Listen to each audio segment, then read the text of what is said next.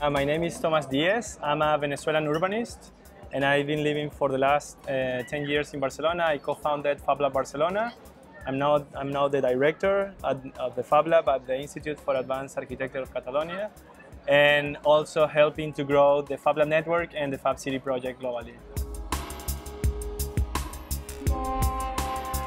If the collaborative economy is trying to connect consumption in a way uh, and op optimize it, I would say that the Fab City is looking at how to change production. No? We are not going. To, we don't want to change only the consumption part or the patterns of consumption, but the patterns of production.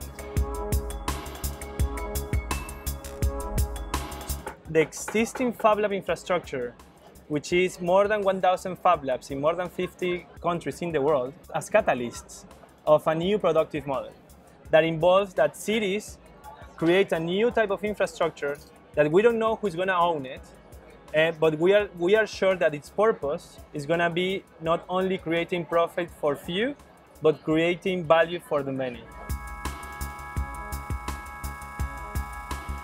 Set a goal of 40 years.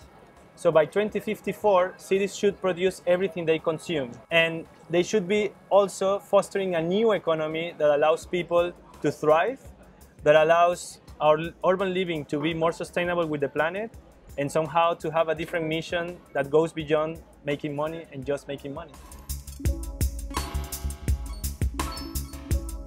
But with the current government, we are working on, let's say, taking or, or improving the model of the public Fab Labs and also creating uh, the Maker District, for instance, which is taking the Poblenou uh, neighborhood in Barcelona as an experimentation playground to build the vision of a Fab City, in which we can test local uh, currencies, for instance, using blockchains or energy markets or local food production using synthetic biology or creating closed or spiral material uh, flows uh, con by connecting the, the, trash production with the local production that you can have uh, using uh, digital fabrication tools or even analog fabrication tools with the existing ecosystem in the area.